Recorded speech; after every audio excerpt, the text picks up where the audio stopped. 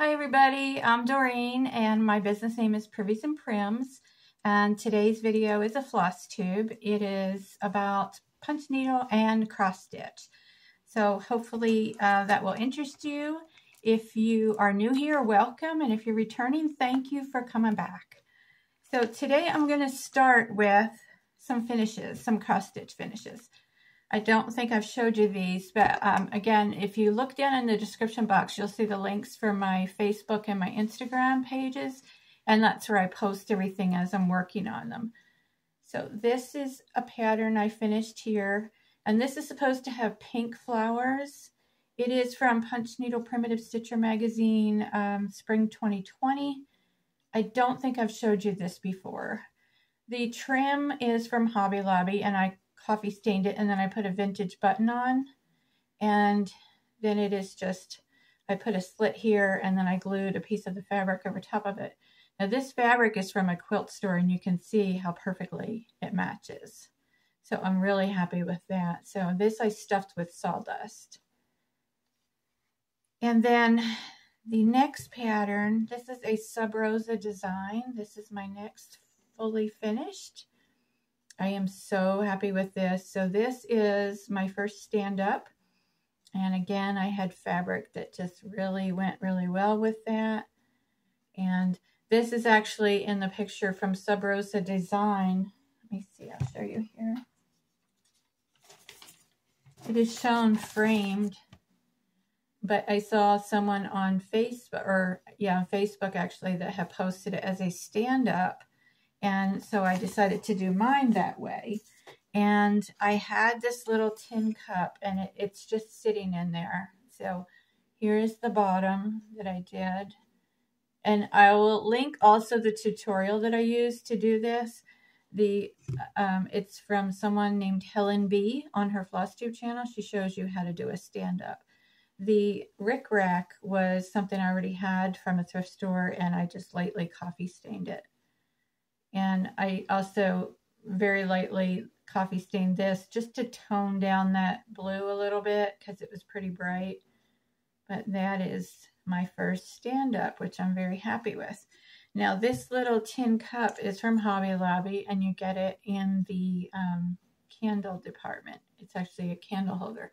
And this stuff is called, um, oh gosh, I think it's called alligator moss. I will run it across here exactly what it's called. But anyway, it's from Dollar Tree. And it's, I did put a little glue in there, but it's kind of like a seaweed. It's just, it's very soft. It's not hard like Spanish moss. And I just put some glue, hot glue in that to hold it. But then this just sits on top. So it's not actually on there permanently but I'm really, really happy with that. So, okay, those are my two fully finishes on that. And then on Punch Needle, this one by Donna Munson is a fully finished. This is actually a bamboo paddle, and I painted it. This is a shop model for um, Shepherd's Needle. I'm a model puncher for them. So this is Donna Munson. This pattern is available on, I think his name is Alexander, the rabbit and it's on her Etsy shop, which is called um, My Country Keepers. And then I did, um, yeah, Alexander Rabbit is the name of that pattern there. And then I did some more store models, and these are all from Crane Designs. These are for the Shepherd's Needle. This one is my primitive style. Get the glare off it. These two are not. They're very cutesy, but a lot of people like them. Um, so here is the one with the little bunnies, and it is called Jelly Bean Adventures because it's like raining jelly beans. And I just turned the back, and then when I send it to um, shepherd's needle, she will mount it onto something. And then this is the crows, and this is called Two Old Country Crows. I really like that one. And I did the same thing on the back. I just turned it and I do hot glue. And if you haven't watched before, I just do hot glue up on the upper edge in case if you want it to hand stitch it onto something. There's no glue on this bottom part. And the third one, this is called, well, this is also Jelly Bean Adventures. Let me see. I think there might be a one and a two. Yeah. So the round one, this one is Jelly Bean Adventures 2. Get it right. And then this one is Jelly Bean Adventures 1. So it's a bunny riding a rabbit. So if you like that type of thing, they are from Crane Designs and again, I did the same thing on the back because I don't know what she's going to mount it on. So that's what she asked me to do. And those were, this one had some Valdani in it. These two were all DMC, the bunnies. There's those. Um, as far as haul, I'm not sure if I showed you these or not. I got these because I know I posted on Instagram and Facebook, and then I'm not sure if I showed it on the video, but I got these at my LNS. This one is going to be for my camper, which is really tiny, and I just somehow I have to find a place for it because it's just really cute and it's the right colors. And then I think I'm going to do it in primitive colors for my house. So I'll take out that turquoisey aqua color and maybe it'll be like um, a denim blue or something. And then this one I also got. They are both Little House Needleworks. And it says needleworker. And then on each side it says thread. They both repeat thread, linen, pins. And then it has the alphabet. So I really like that one. Hold that close so you can see it. And it is called the sampler lady. And then I got these two patterns from um, Not Forgotten Farm on her Etsy shop. And these are not available as PDF because they're retired patterns. So I had to order them from the mail. So I think I'm going to use this one. Excuse me. Um, I don't use project bags, so I think this is the one I'm going to put my threads in when I have a project I'm working on. I have just been using Ziploc bags, but if I'm going somewhere, I thought this would be cute to take it. And I don't know if it'll focus. I think I locked the focus. But it says um, spools of my thread is what it says on it. And that is from Not Forgotten Farm on their Etsy shop.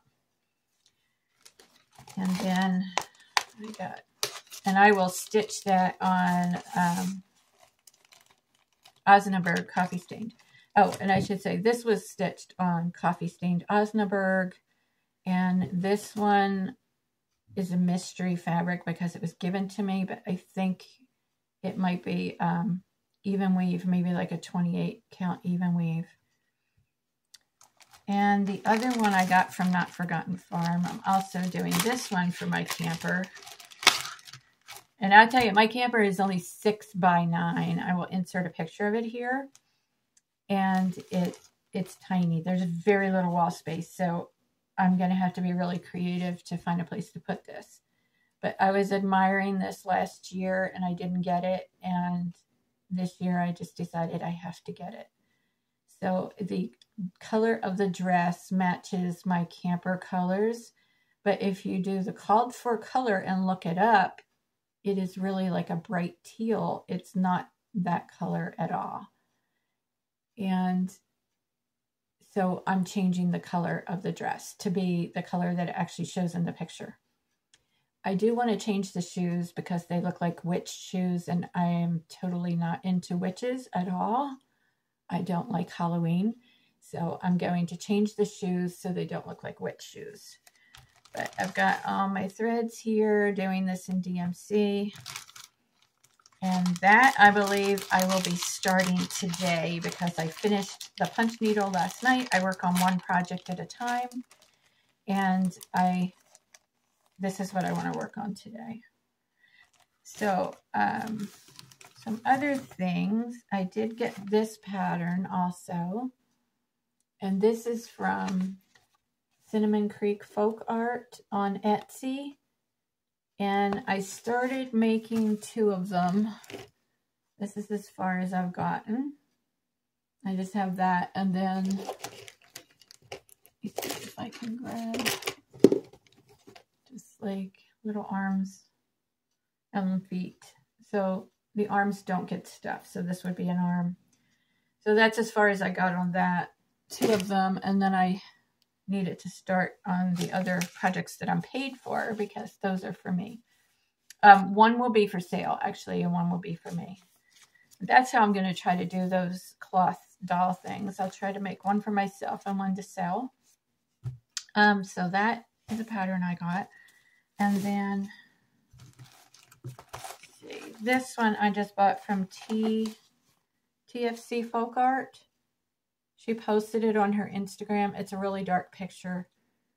But that one I also want to make for myself. I don't know if I'll make two of those. This one's a little bit more involved. But I really like that. And I may get it done and I may not. Because I'm not real good at doing the cloth stuff. I'm not, not saying I'm not good at talent-wise. But I'm not good at making myself do it. Because I'd rather do cross-stitch or punch needle. Um, I have a pattern giveaway for this week, and it is Plum Street Samplers Hello Spring. I'm going to take this out of the package. It's really dark. Let me see if I can get some light on it. Too much light. There we go. Totally bright on me, but that's Hopefully you can see that good enough. It's a rabbit.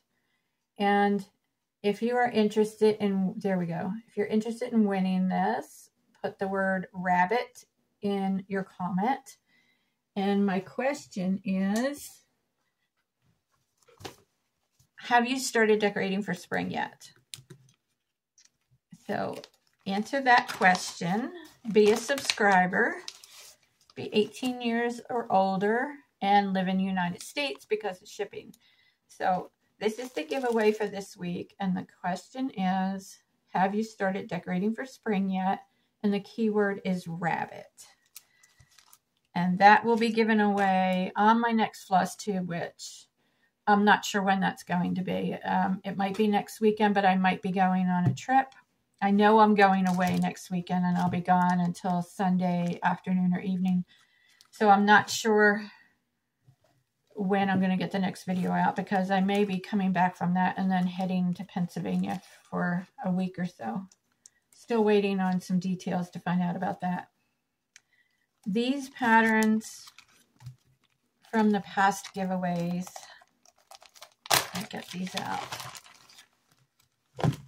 They were not claimed. So I am going to, it was these two. I am going to go back to those videos where I posted those giveaways and I'm going to do another random comment picker to pick a different name. And I will insert that here. Okay, this is for the spring messenger pattern. I had already chosen a name um, by this random comment picker, but that person was not a subscriber, so they're not eligible. So be sure that you are a sub subscriber so that you can win. Let's do this again. Barb Miller. Great job figuring out the robin pattern. I especially like the finish robin. Thank you, Barb, for commenting and for watching my videos. Get in touch with me by email. Send me your address and I will get this pattern out to you. Thank you. Okay, this is for the Bobby pattern. And again, the person that was picked the first time was not a subscriber, so they cannot win. So I'm going to pick another name. Make sure you are subscribed. And this one is Margie. I've never seen the Bobby pattern before. I really like it. Thank you, Margie, for watching my video and for commenting. Get in touch with me through email and send me your address, and I will send this out to you. Thanks. So, congratulations to those winners. Please contact me by email. My email is right here. I will not put anything in the comments. I'm sure you've all heard about that. I might answer your comment and say, um, for this one, I might say get in touch with me, and my email is on my About page on my YouTube, um, or you can contact me on Instagram or Messenger. But I will not put in the comments you have won, and it will have nothing to do with any. Um, oh gosh, I forget what the word they were using. Anyway, I won't say anything about giveaway. I will just say contact me um, through email. So these to get in touch with me. This is the second time I have drawn names for those. This one I will draw on my next floss tube. And I think that is everything. I, I don't have a whole lot here. I, I don't have WIPs really because I work on one thing at a time. So I don't have like, you know, the WIP parade and all that stuff. Um, and I have a little bit of haul here. So which I already showed you. And now I'm rambling. So thank you for watching, everybody. And I did check my stats the other day. About 50% of my viewers are not subscribed. It is totally free to subscribe. And when I reach 2,000, I am going to have a bigger giveaway with more patterns. And I have some magazines and everything. And I'm going to be giving those away. And I also want to, I have some giveaways for Punch Needle so those will be when I reach 2000. This patterns that I'm giving away, these two, actually all of these, were given to me to use as giveaways. So um, that's why I'm doing those right now. So I will see you on the next video. Be sure to hit that thumbs up because it does help the algorithm. It means that YouTube will push my channel out to other people because uh, they see that people are interacting and liking it. And I will see you on the next video. Happy stitching and punching, everybody. And if you have any questions, please leave them in the comments down below. See ya.